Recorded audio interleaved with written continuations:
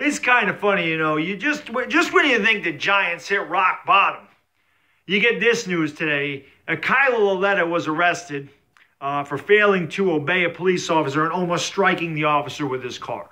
Here's a guy's never even played a snap in the NFL. Probably had a good chance to start sometime this year.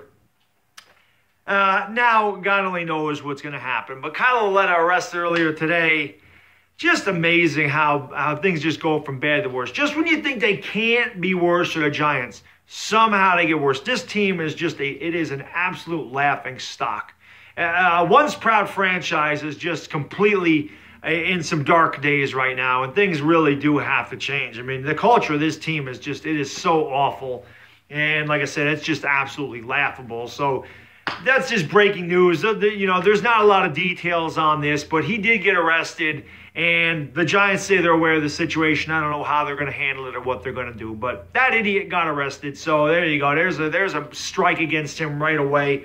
Um, I don't know what the hell he's thinking. Obviously he wasn't. But uh, I just heard that bit of breaking news, so figured I would share it in case you hadn't.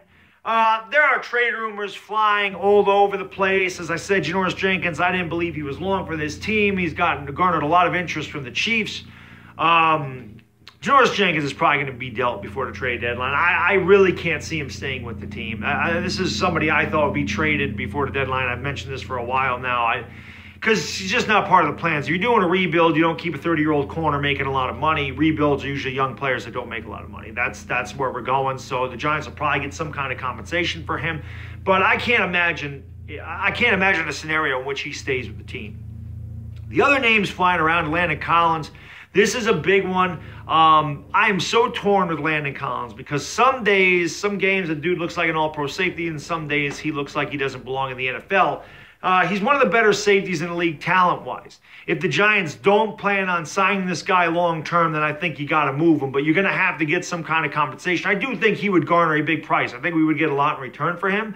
But again, I'm torn. I really don't know if I'd want him to stay here, I'd want him to go. He's only 24 years old. He's a young guy. He doesn't make a lot of money yet. He will. Maybe this is part of the reason the Giants are clearing cap spaces so that they can sign Landon Collins long term. And maybe he will be part of the rebuild because he's 24 years old and he's not quite in his prime yet. Uh, I really don't foresee him getting traded. I, I, think the Giants would have to really, like I said, get an amazing offer. If somebody offered them a second and a fourth, a second and a third, then you might do it. But I just don't foresee a scenario in which he leaves the team. Um, but you never know. Stranger things have happened. And then, of course, the Odell Beckham trade rumors are back. Uh, people have inquired about Odell Beckham. There's all this talk. Can he get traded? Will Odell Beckham get traded? He just signed this huge contract. They did this with JPP. They signed a big term and then they dumped him. So you never know uh, what's going to go on. But again, I don't see Odell Beckham going anywhere. Um, a team would really, really, really have to pony up a ton of things. I've heard the Jets are interested in him. I've heard the Patriots are interested in him. Um, and the Jets have the cap space. Cleveland has the cap space. These are teams that are willing to give up a lot for Beckham. If somebody offered the Giants two first round picks for him, see you later. I would do that in a heartbeat. I would I would take two first round picks for Odell Beckham and uh, draft a Hollywood Brown. Um, use Sterling Shepard as a number one, whatever. The Giants have never won with an elite wide receiver, so if you're blowing up the whole thing, you know, I, like I said, I wouldn't be adverse to trading him. I, I really, I mean, that's a one in a million shot that he's going to get traded. But the rumors are out there. Um, but the one thing I worry about with Beckham more than anything else, we get a young quarterback in here, and then you got that imposing presence of Odell Beckham running up to a rookie quarterback saying, "You got to get me the ball. You got to get me the ball." You know, you don't really want an Odell Beckham in a young quarterback's ear telling him he's constantly has to throw the ball and intimidating a rookie quarterback. So I don't really know how Beckham would react. I don't know if Beckham Beckham never acts like he wants to be here. If he didn't want to be here, why did he sign the contract? It's kind of stupid. He would have got that money from other teams. Um, but every time he's asked, he's just like, "I'm here. I'm, I'm, here right now." You know, I don't know what the hell he's saying. He's acting like he don't want to be here. Does he really want to be part? He's shown a lot of frustration over the years. Um, does he really want to be part of a rebuild? To be quite frank with you, the Giants have an amazingly bad record since we drafted Odell Beckham, so it's not like he contributes to victories.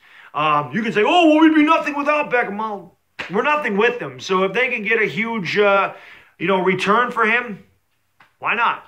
But that, again, that's a one in a million shot. Probably not going to happen. But those are the, the trade rumors that I've heard.